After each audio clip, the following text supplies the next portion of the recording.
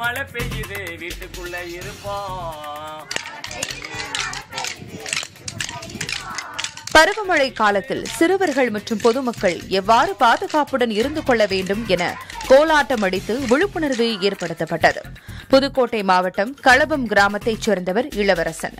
நாட்டுப்புற கிராமிய கலைஞரான இவர் தான் கற்ற கலைகள் மூலம் பொதுமக்களுக்கு பல்வேறு சமூகம் சார்ந்த விழிப்புணர்வை ஏற்படுத்தி வருகிறார். இந்நிலையில் தற்போது மழை தீவிரமாக பெய்து வரும் நிலையில் சிறுவர்கள் பொதுமக்கள் எவ்வாறு எச்சரிக்கை உணர்வோடு செயல்பட வேண்டும் என்பதை வலியுறுத்தும் வகையில் கிராமத்தில் உள்ள சிறுவர்களை வைத்து கிராமிய பாடல்களை பாடி கோலாட்டம் அடித்து விழிப்புணர்வை ஏற்படுத்தி வருகிறார்.